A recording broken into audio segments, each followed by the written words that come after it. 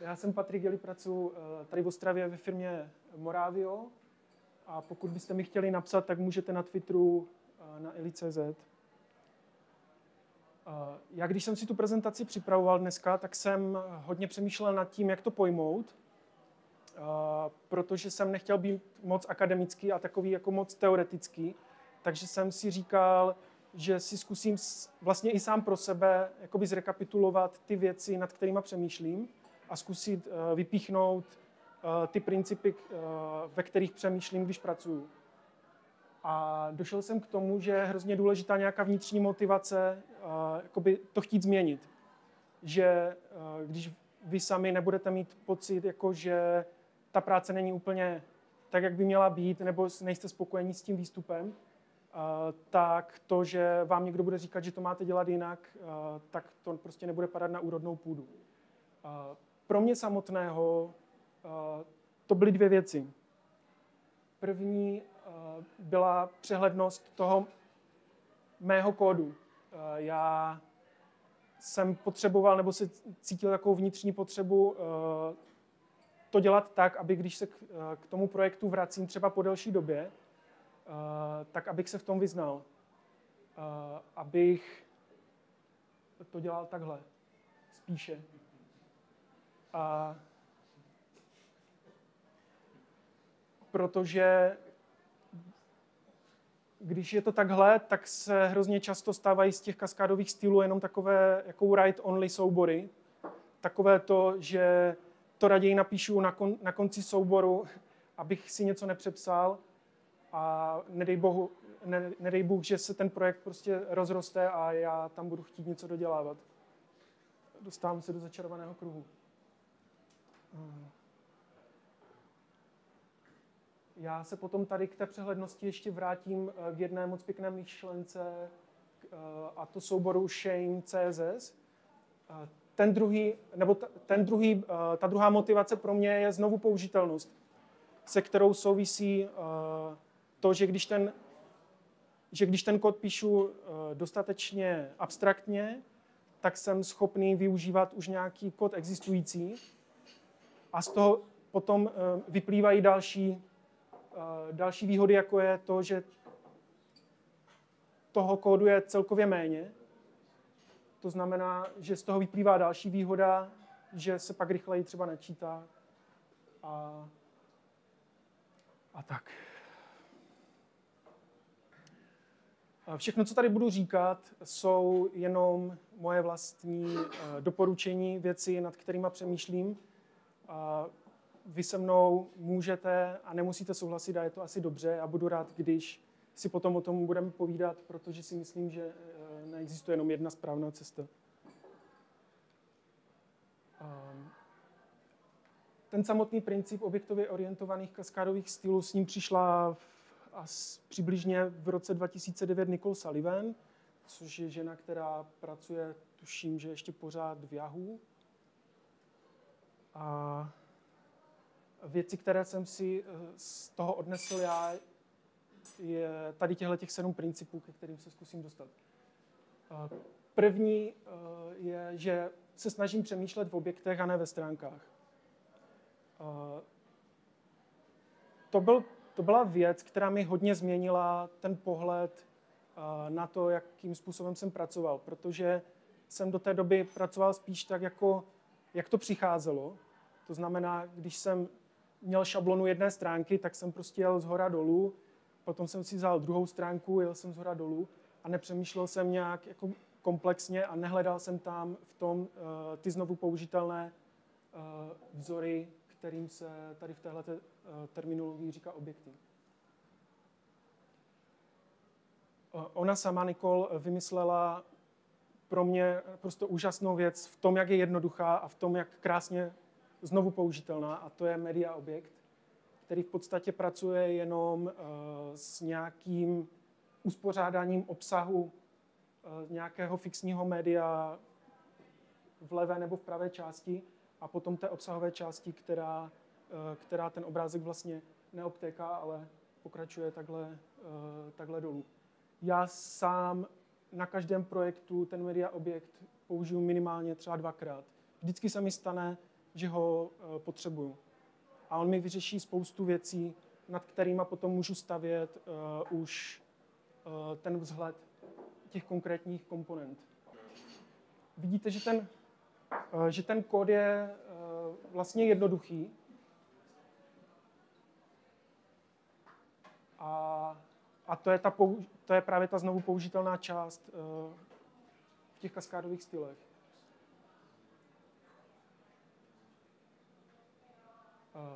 Druhým principem je rozšířování objektů eh, použitím více tříd.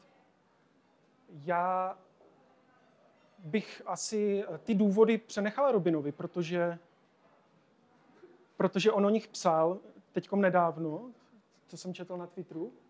Eh, já spíš jenom ukážu jako jednou, jednoduchou ukázku na tom media objektu, když jsem říkal, eh, že ten obrázek může být vlevo nebo vpravo, tak my v podstatě přidáním jedné třídy uh, jsme schopni jakoby jenom upravit uh, to, ten výstup toho media objektu tak, že ten obrázek je vpravo.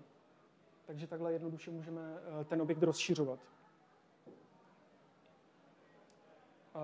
Snažím se oddělovat strukturu od vzhledu. Já to ukážu na jednoduchém příkladu, který jsem si vykopíroval z Bootstrapu.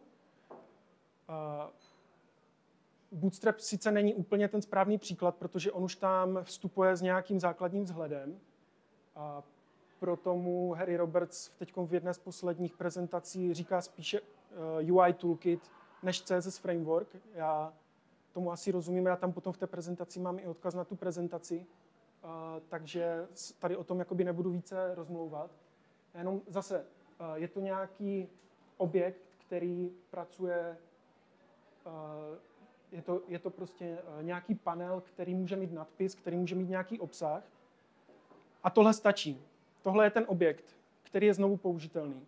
A vy si potom nad ním právě můžete stavět uh, ten samotný vzhled. To znamená, no, to tady moc není vidět, to je ten, jakoby default, to je ten defaultní vzhled uh, Bootstrapu a to je potom nějaký primary,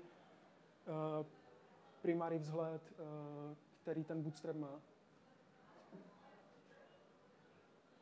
A tady je to zase eh, v kódu.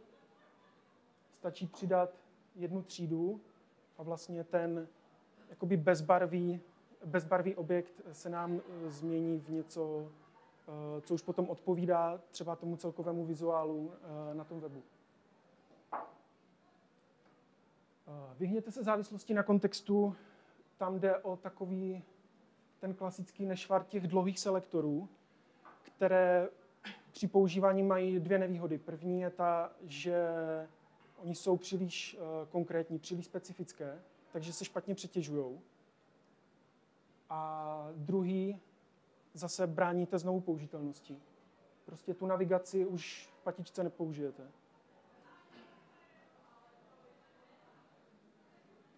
Používejte mřížku. Další z věcí, eh, na kterou, když jsem začal používat mřížku, tak tak to vlastně zase ovlivnilo hrozně moc celou moji práci, protože já jsem přestal řešit to, eh, jak se ty věci na tom webu pozicují, protože to všechno za mě řešila mřížka. Já už jsem si potom jenom hlídal eh, to, aby ta komponenta se zobrazovala správně na libovolném místě, kterou mi ta eh, mřížka vytvoří.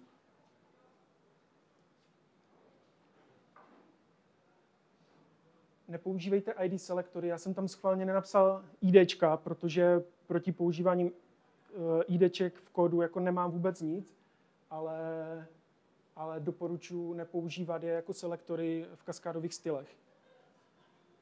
Zase, zase, to, eh, zase jsou tam ty dva problémy. Eh, jednak se znovu použitelností, protože objekt nebo nějakou komponentu, nebo jak, jedno, jak tomu budeme říkat, Eh, kterou eh, budeme vybírat, nebo budeme, eh, ji, mm, budeme si ji psát v CSS prostřednictvím ID, už prostě znova na té stránce nepoužijeme. A druhý problém je zase ta přílišná specifičnost toho selektoru, protože přetížit ID v CSS v kaskádových stylech je cesta do tak important pekla s vykřičníkem.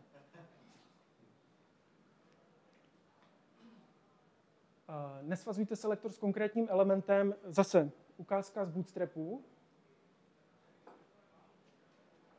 Když budete mít selektor svázaný s, uh, s elementem, tak, tak ho znovu nepoužijete.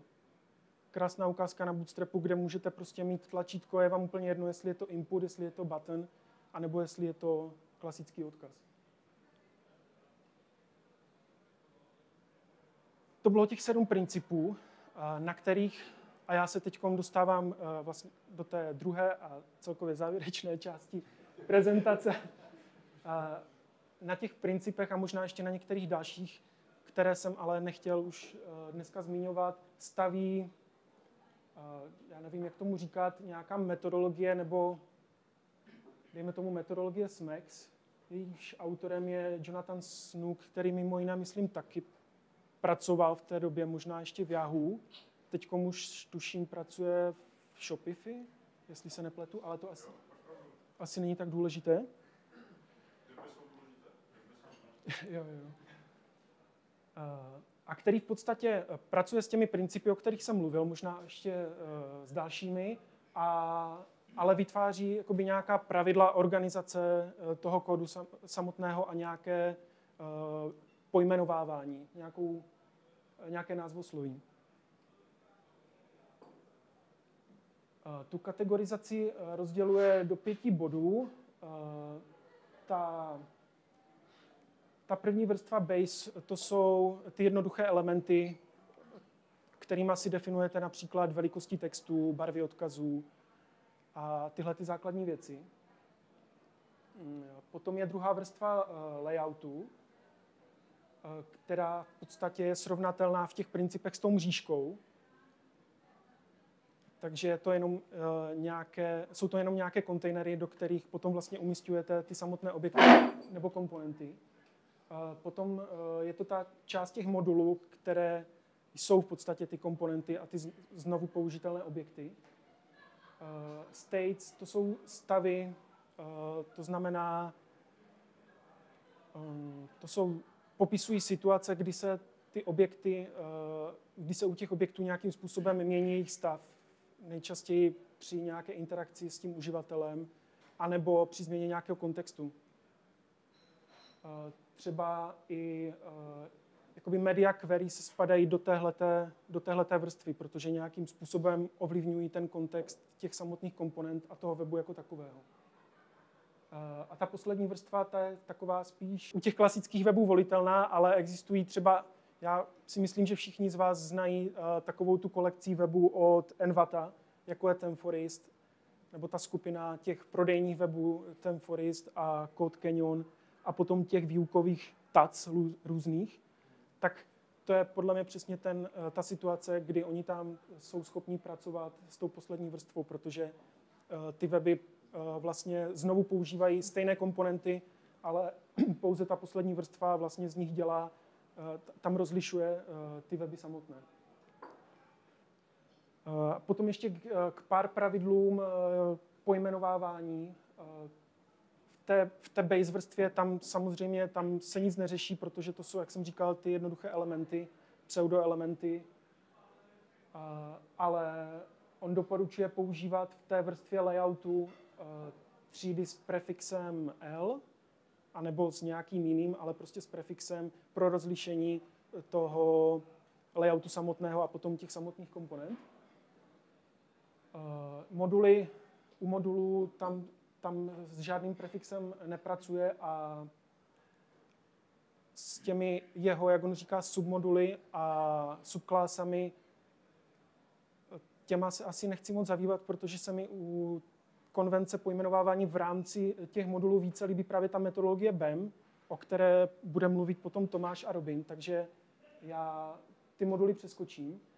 A pak je tam eh, poslední část a to jsou ty stavy, u kterých on používá ten prefix eh, anglického slova eh, is, který nějak jakoby deklaruje tu změnu. A zároveň tady pracuje i s tím eh, navýšením té specifičnosti toho selektoru, takže eh, jakoby toho jednoduchého přetížení eh, té komponenty.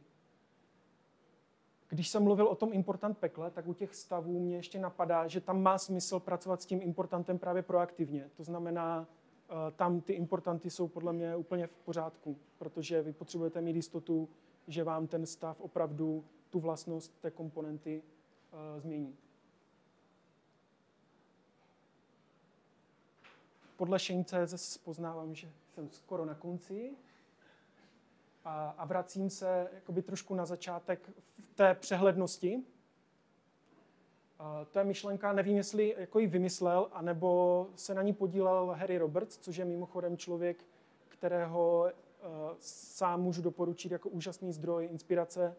Jeho uh, framework Inuit CSS je takovou jako studnicí nápadů a vůbec jako všeho kolem uh, těch objektově orientovaných kaskádových stylů ten soubor samotný eh, v podstatě slouží k tomu, že vy často v té denodenní práci potřebujete rychle něco opravit a ne vždycky máte čas na to, to dělat koncepčně. A to dělat tak, aby to splňovalo všechny ty principy. A tenhle ten soubor eh, právě funguje na to, že tam uděláte ten rychlý hack, eh, o kterém víte, že to je prasárna, ale, ale máte ho oddělený máte ho oddělený a pokud pracujete ještě s, dalšíma, dvěma, s dalšími dvěmi pravidly, které s tím souvisí, uh, tak je to vlastně i dobře zpravovatelné, protože on doporučuje uh, ten fix dobře zdokumentovat, to znamená napsat, co řeší a proč uh, je to vyřešené takhle hnusně, když to, když to přeženu. A potom je tam potřeba ještě myslet na druhé pravidlo a to je mít potom ještě do budoucna tu potřebu eh, ty věci z toho shameu zpětně řešit. Protože když budete jenom plnit shame CSS, tak vlastně tak, eh, tak eh, tím nic nevyřešíte. No Tomáš tak pěkně podotknul, že by se z toho potom mohl stát třeba soubor Style 2 CSS a to by, to by asi nebylo dobré. Dotazy pokud nějaké budete mít, tak uh, potom po těch třech přednáškách bude samostat, jakoby moderovaná diskuze, a nebo raději u piva ještě potom. Dě, děkuji za pozornost.